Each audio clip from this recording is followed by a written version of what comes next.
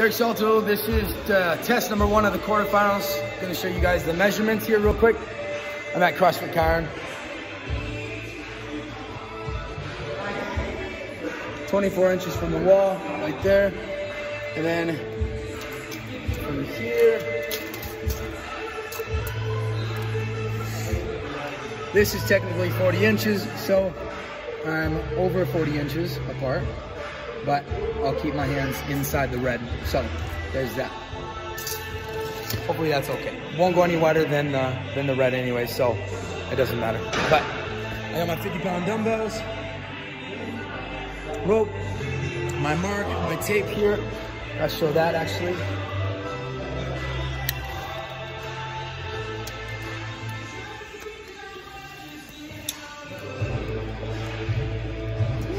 Actually bring it, sorry, bring it to the edge of the, right there. So, a little, is that on it? Right there. Five foot. Smidge over, that's okay, not a big deal.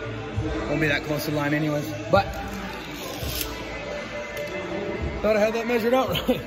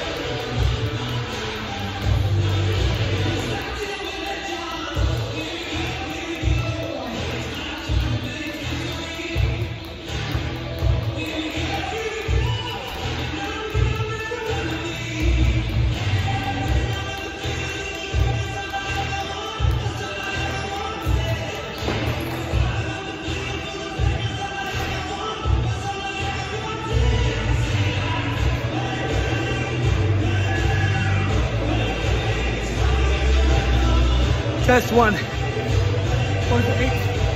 What was it? 811. 811. Whew.